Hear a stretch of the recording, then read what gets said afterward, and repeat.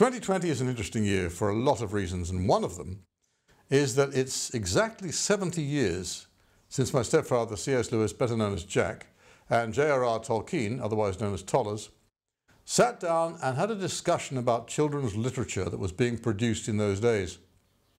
They found that they both agreed that children's literature of that time was really not good enough for children.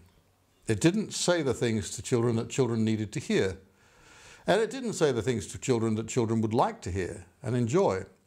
So they both decided they would sit down and have a go at writing a children's story.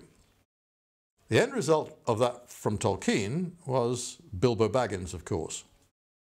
And that again led on to The Lord of the Rings and all of that stuff. Jack, on the other hand, wrote something very different. He mixed all sorts of wild and interesting fictional characters, people like fauns and dragons and people like that, mixed them all up together with animals and so forth and produced Narnia. The Lion, the Witch and the Wardrobe is 70 years old in this year. To celebrate this amazing year, NarniaWeb.com are actually producing a short video to celebrate and to let people know a bit more, I think, about Narnia and how it came to be.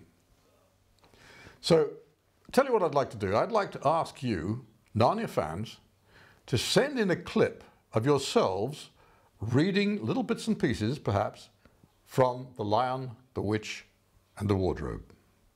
So to participate in this rather, I think, amusing and interesting idea, all you have to do is go to narniaweb.com and follow the instructions. It's as simple as that.